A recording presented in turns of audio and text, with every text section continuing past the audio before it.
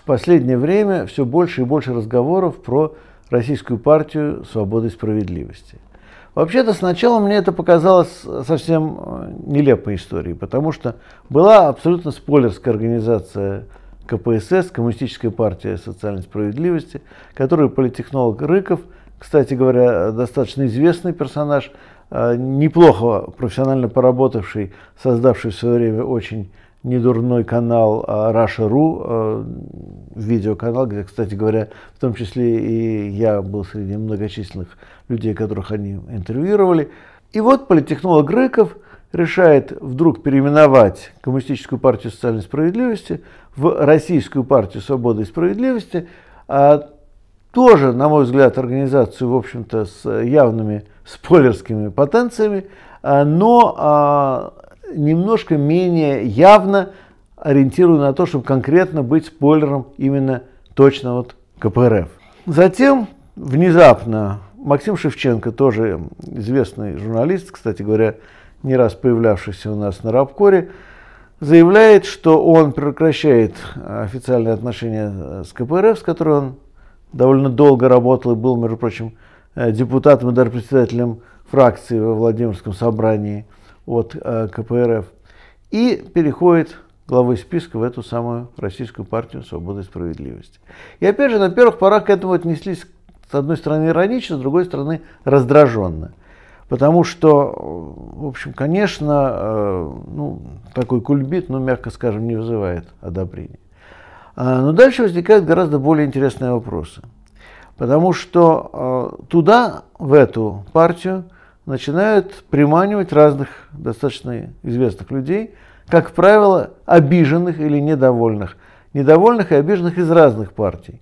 А с одной стороны, Ройзман, бывший мэр, а, как мы знаем, Екатеринбурга, который всегда, в общем-то, был связан с яблоком и, кстати, никогда не был ну, никаким боком левым, а вдруг начинает вести переговоры о том, что он от этой а, партии будет баллотироваться от РПСС потому что он обижен на яблоко.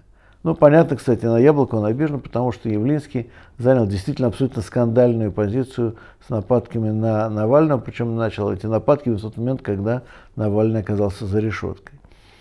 Э, в общем-то, ну, мягко скажем, неэтичное поведение.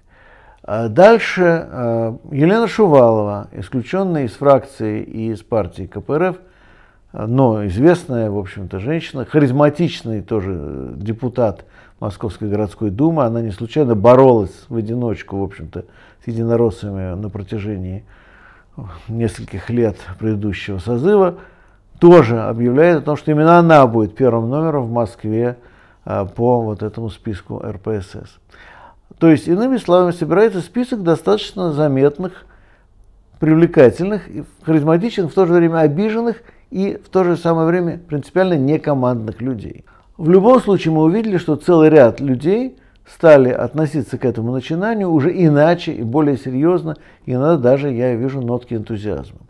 Но, честно говоря, признаюсь, что даже при том, что я не хочу ни с кем враждовать, я не хочу ничего плохого говорить о Максиме Шевченко, по-прежнему я остаюсь крайне скептического, чтобы не сказать негативного мнения об этом проекте. Отвечу почему.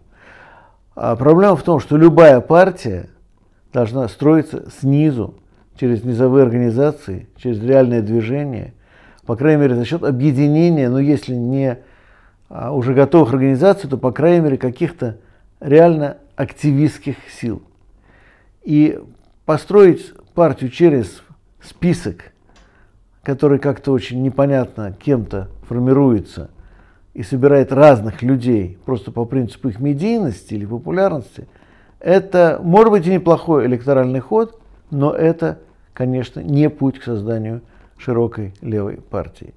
И, наконец, самое последнее, что здесь важно, мы должны прекрасно понимать, что в конечном счете выборы будут определяться отнюдь не тем, как мы проголосуем.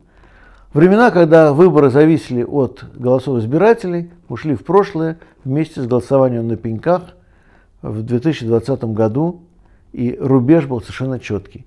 Теперь решают не избиратели решает администрация президента, и они напишут столько голосов, сколько нужно. Мы можем либо это принять, либо протестовать. Другого варианта у нас нет. И вот тогда возникает вопрос, на что рассчитывают организаторы РПСС? На то, что им отпишут нужное количество голосов, или на то, что они смогут потом организовать протест. Пока ответа у меня нет, но у меня есть большие сомнения.